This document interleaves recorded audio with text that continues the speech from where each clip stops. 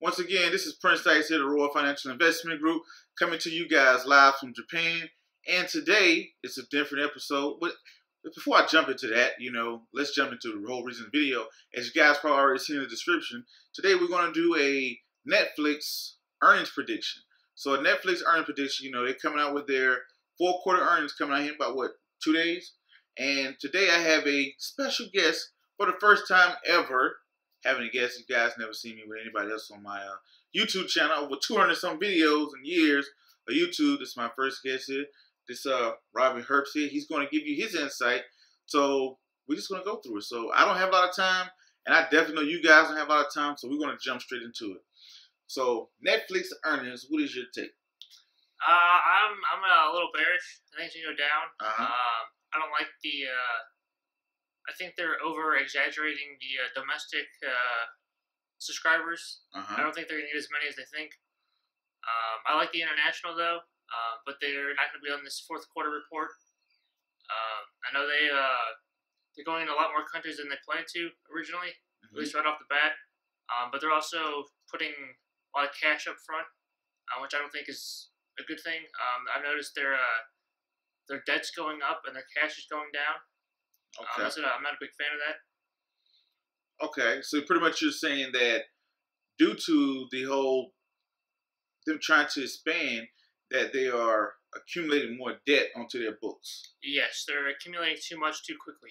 Okay, so the the subscribers, you know, the big thing that all the bulls are going to think that you obviously, you know, you're bearish.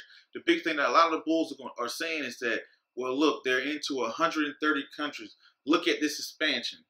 So what do you have to say about, you know, now them open up to so many markets and by, you know, it being Netflix, the only way Netflix makes their money is by subscribers. You know, they don't have ratings. You know, a lot of TV shows, the higher the ratings, the more money you get from uh, advertisers.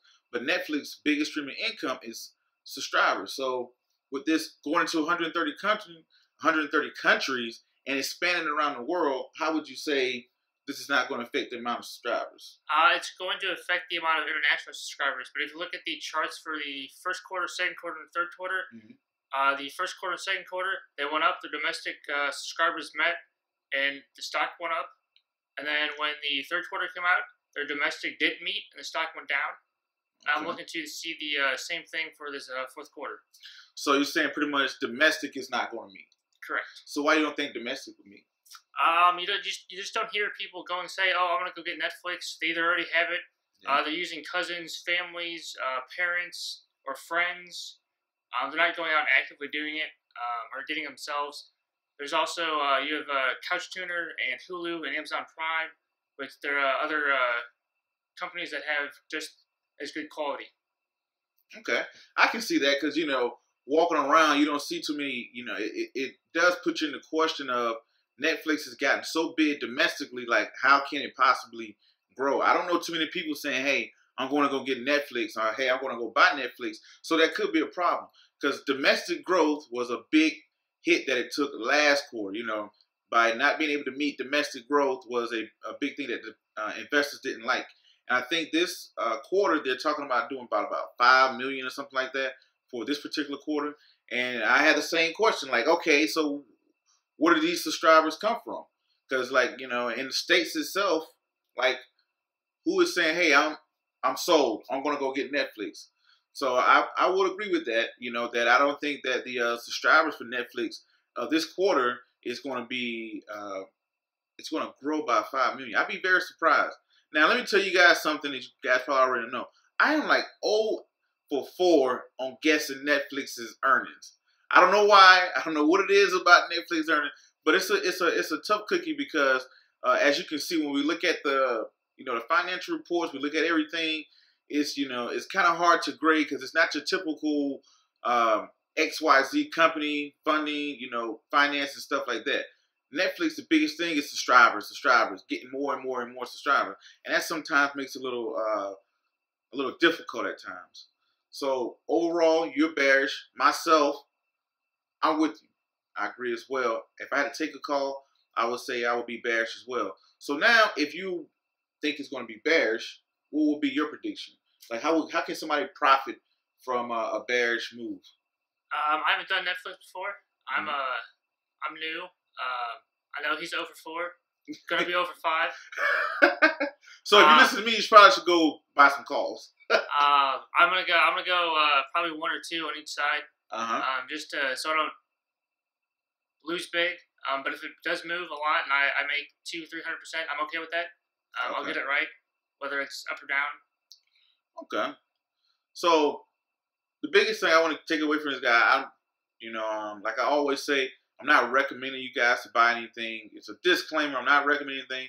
This is just commentary, pretty much talking about a stock because I know a lot of you guys like to see videos where I talk about a particular uh, company, the earnings before it comes out. What are we seeing? What are we looking for? So I'm trying to give you guys a little bit more. It's 2016. Change up a little bit. You know, put my face in front of the camera. You know, bring on other people, hear what they have to say about it and stuff like that. So we're not recommending you buy anything. It's just to give you a little insight, educational purposes, and you know, commentary purposes or whatever to hear about a particular hot topic that you know is going to be all over the media here in about two or three days. So we'll let you guys know beforehand. A lot of people are going to come out once the earnings come out. They're going to say all type of crazy stuff about what they knew, what they did, or whatever. But you know, this is where you can give us a report card to say, hey, this is what came out. This is what these guys said before. All that good stuff. So anyway, like you said, he feels bearish about it. You know, it's a hard take to take. I'm 0 for 4 on it. This is just one stock that I just can't seem to just knit in the butt right. But uh, anything else you want to say, Mr. Herbst, about uh Netflix and earnings? Um, they're the overall international or the overall subscribers. I think it's gonna go up. Um, but when you break it down to international and domestic, I think domestic is going to miss, even if the international subscribers pick up the slack, where the domestic might not miss, Mhm. or where, where the domestic might not make. Uh, but I, I, oh, I think they're uh, they're overall their subscribers are going to go up, exceed expectations. Um, I just don't think the domestic is going to Yeah, that that and I, and I would agree with that. That makes uh, perfectly good sense because going to 130 countries, um, you know, you go into a place, you open up a market that you never were in, never was in. Of course, you know, your numbers are going to go up. But uh, you know, domestically, like we said, we already spoke about domestic. But uh, sometimes, you know, what can rally the stock is some people get so caught up with the international that they say, hey, they may not look at domestic. They may overlook and say, hey, they added over eight million subscribers internationally, and that can get a lot of investors excited. So it's a double-edged sword in a way. So give you guys something to think about. What we kind of looked at, we spoke about debt to equity ratio. We spoke about you know Netflix itself is subscriber base. We spoke about you know subscribers, how to profit from a move, and we gave you guys what we thought. So anything that you want to say, Mr. Herbst? I'm good. Good luck. Yeah, good luck. Uh, don't forget to like, subscribe, comment, share all of the good stuff. Leave me some of your comments. Let me know what you guys think. But as always, until the next video, you guys already know what to do. Be safe. Yeah.